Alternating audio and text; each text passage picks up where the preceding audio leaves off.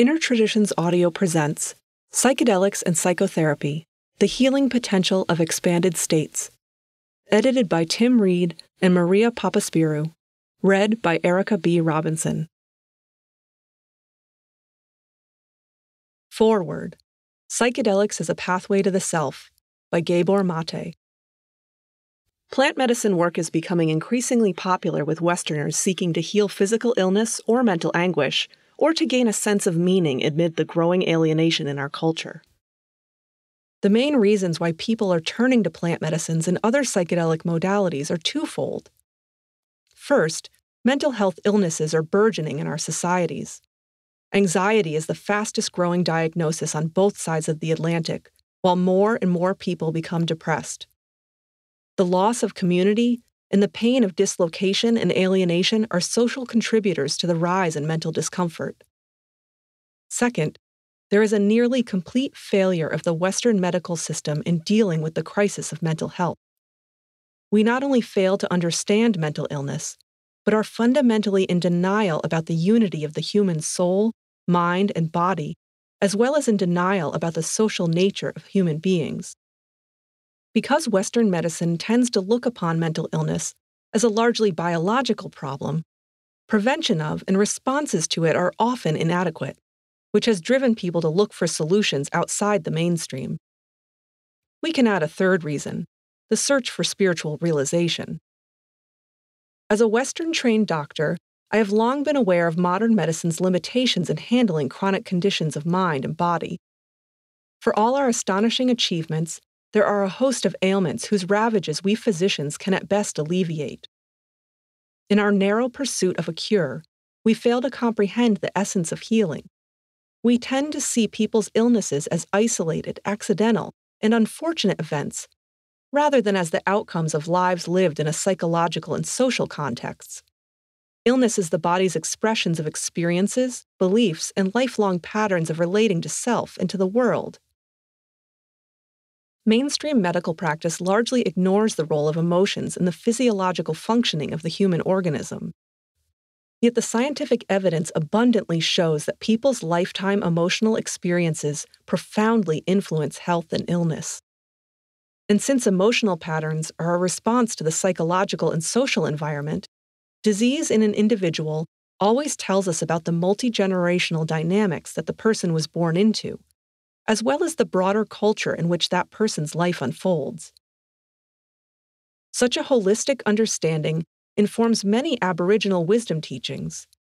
The ceremonial use of ayahuasca, for example, like all plant based indigenous practices around the world, arises from a tradition of seeing the mind and body as inseparable in sickness and in health. I have witnessed people overcome addictions to substances, sexual compulsion, and other self harming behaviors. Some have found liberation from chronic shame or the mental fog of depression or anxiety.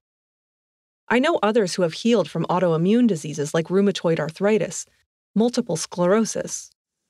Where is the healing coming from? Plant medicines and other psychedelic substances are not drugs in the Western sense of a compound that attacks pathogens such as bacteria or obliterates malignant pathological tissue nor are they a chemical, like antidepressants, that alters the biology of a diseased nervous system. And they are far from being a recreational substance ingested for escapist purposes. In their proper ceremonial setting, under compassionate and experienced guidance, the plant, or as tradition has it, the spirit of the plant, puts people in touch with their repressed pain and trauma, the very factors that drive all dysfunctional behaviors. Consciously experiencing our primal pain loosens its hold on us and may set us on the path toward healing. The very word healing means wholeness, and we become whole when we reconnect with ourselves. This book showcases how mind, body, and spirit come together to tell the stories of our wounds and to co support our path toward healing. The addictive power of substances is a myth. Contrary to popular belief, the addictive power does not reside in the drug itself. It resides in something that creates a susceptibility, invariably some trauma. The effect of the substances, how they are used, and what purposes they serve in human life, depend very much on the context, the set and the setting. Addiction to drugs is about lowering consciousness, but healing substances within the right set and setting, as exemplified by Aboriginal ceremonial practices, elevate consciousness. Often, the setting for recreational drug use is some dingy bar or back alley, or a living room with a bunch of buddies wanting to get high. The setting for using plant medicines is a ceremony with shamans who have been through training that is not for the faint hearted, or with psychologically adept guides who have faced their own wounds in darkness. In addiction, substances are used regularly or daily as a form of escape.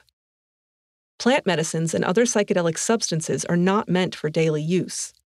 They are used consciously in a ceremonial setting as a way of opening the doors of perception. Like plant medicines, psychedelics also need the appropriate context if they are to be an appropriate medicine. Each chapter in this book explores a particular setting and offers insights into the care and consideration that goes into holding the space. It exemplifies that the settings and formats are varied, but the knowledge, experience, and wisdom that is needed to support and hold the space is the common ground that supports the healing potential of expanded states. It takes a lot of work to wake up as a human being. It's a lot easier to stay asleep. Trauma wires us to escape emotional pain and rely on short term solutions like addictions or other adaptations, or even therapies that address the symptoms rather than the causes. But self awareness is the bottom line, the only way to truly address trauma. When we wake up, we are able to address childhood issues that have traumatized us and made us vulnerable to addictions or other compensations. We usually arrive at this place after a lot of pain, when something happens that forces us to face up to the fact that our lives aren't working as they should. It is through our discomfort that we start seeking solutions.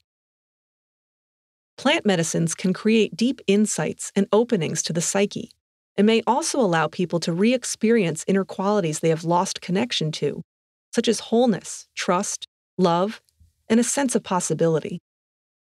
People quite literally remember themselves. The documented unity of mind and body means that such experiential transformation, if genuine, can powerfully affect the hormonal, nervous, and immune systems and organs such as the brain, bowels, and heart. Hence the healing potential of the plant, seen through the lens of Western medicine. Plant medicines and other psychedelic treatments can reveal the psychological baggage that you have carried all your life. And when you acknowledge this baggage, you realize that it is not an inevitable and inextricable part of yourself. You can finally put it down. All the pain and all the meanings that you have created from that pain, all the ways you see yourself, and all the interpretations you have made of the world because of early experience can drop away, and you can just be in the present. That's very powerful. Psychedelic experiences may also reveal, or at least allow you to glimpse, your full potential as a loving and connected human being. Having a deep experience of your true self can be tremendously healing. So it's not surprising that some people working with these medicines come to realizations through these experiences that go deeper than their usual consciousness permits.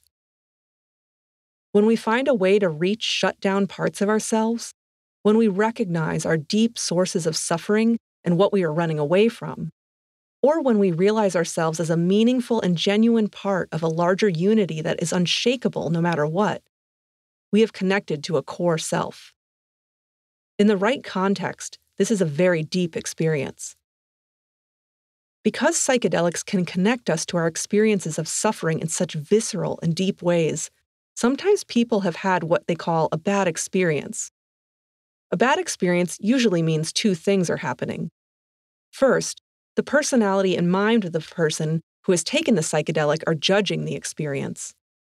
His personality was developed in the first place to help him escape the pain.